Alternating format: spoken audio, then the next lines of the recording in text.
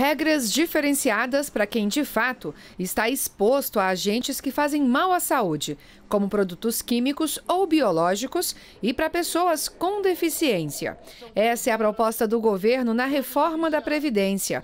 A proposta é que pessoas com deficiência ou que sejam expostas no trabalho a agentes de risco à saúde possam se aposentar até 10 anos antes dos demais.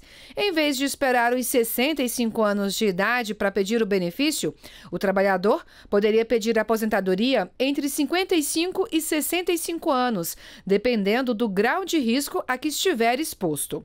A reforma também diminui o tempo mínimo de contribuição para pedir aposentadoria, de 25 para até 20 anos. Então a aposentadoria antes do tempo viria tirar essas pessoas antes que realmente elas fiquem doentes e não tenham mais condições não só de exercer essa atividade como qualquer outra atividade. O texto elimina a possibilidade de aposentar mais cedo por conta do exercício de uma atividade que possa provocar acidentes de trabalho, como é o caso de policiais e bombeiros militares. A Comissão Especial da Reforma da Previdência deve realizar pelo menos mais nove audiências públicas para discutir o assunto com representantes da sociedade.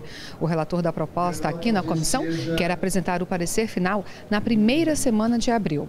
O deputado Arthur Oliveira Maia disse ainda que é preciso mensurar qualquer mudança na reforma proposta pelo governo por conta do impacto orçamentário.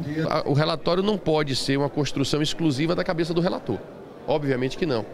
Isso você tem que sopesar a opinião dos colegas, tem que sopesar a, as informações que virão do planejamento dizendo quanto custa, por exemplo, a aposentadoria especial para os militares, porque toda mudança que fizer é, flexibilizando a PEC, ela vai ter um custo financeiro para a Previdência. Não tem jeito, qualquer que seja a mudança.